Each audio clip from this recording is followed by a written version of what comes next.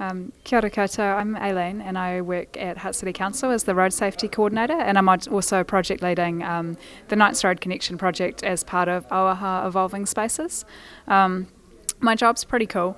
I get to make sure that kids at local schools have all uh, schools have all the skills they need to scooter, bike, walk safely to school. Help schools to set up uh, drop-off po and um, yeah, that's that's a big part of my job. Make sure that the footpaths are safe for people with um, mobility scooters, wheelchairs, pedestrians, all those types of things.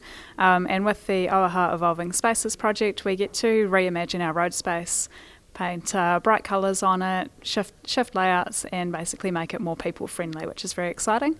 I work with a really great team of people across both projects, and um, yeah working with people and communities to reimagine their spaces is, is my job and make them safer and happier.